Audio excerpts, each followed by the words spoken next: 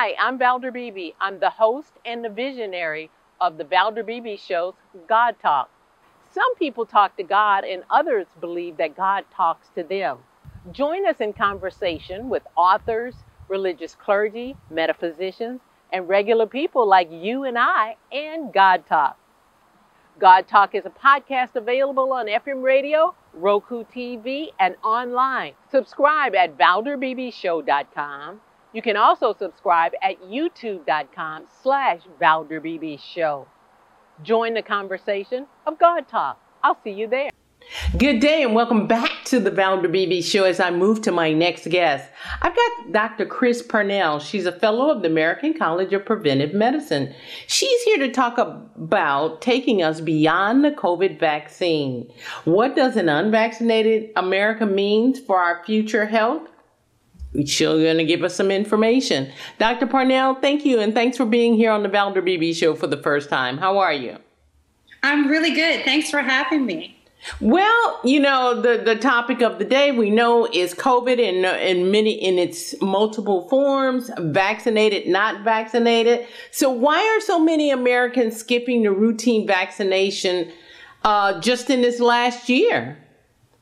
Because we've lived through an unprecedented, once in a lifetime public health crisis.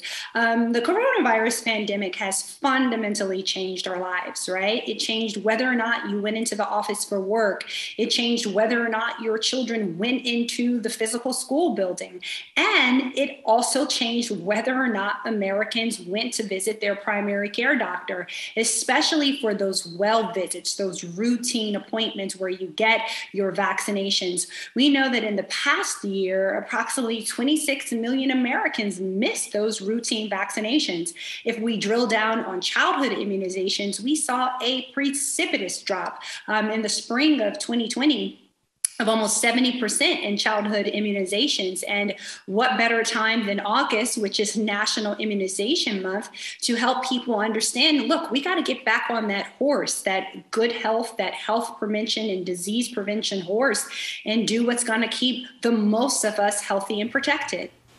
What's the importance of staying up to date? Is there a big deal if you miss a year and then you finally get it? Why stay up to date? Staying up to date is so important, Valder. Let me tell you why. We know that vaccines save over 8 million lives each year. And I want to repeat that for everybody who's listening over 8 million lives each year. So it's important each year to make sure you are staying on schedule. If you think about what keeps you healthy, if you think about what keeps you the healthiest you, the best you possible.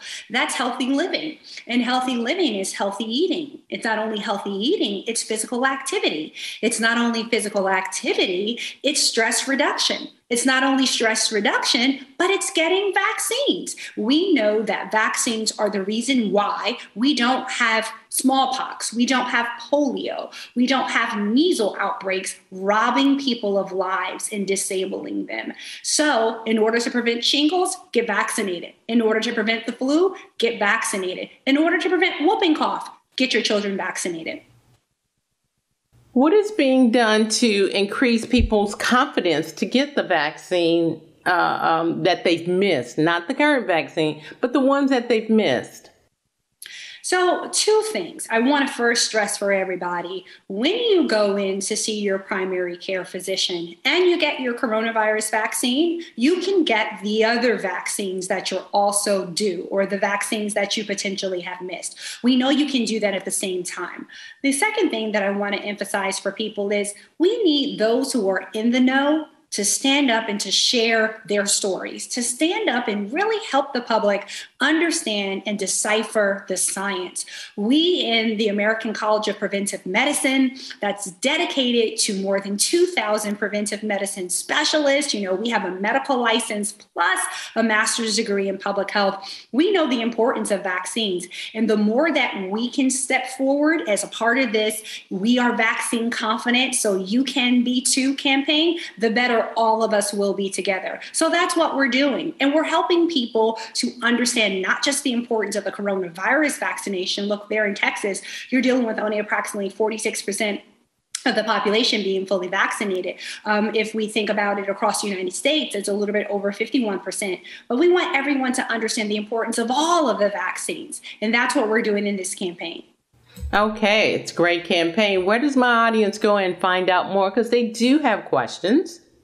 Definitely. We want to help you get those questions answered. So you can go to vaccineconfident.org. Again, vaccineconfident.org. If you go to the website, you're going to learn about the coronavirus vaccine, how it's safe, how it's effective, and also you're going to learn about all vaccines and the decades of research and science that has gone into this powerful life saving tool.